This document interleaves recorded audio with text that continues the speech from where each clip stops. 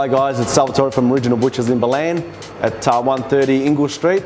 Please come on and have a sausage with us and enjoy.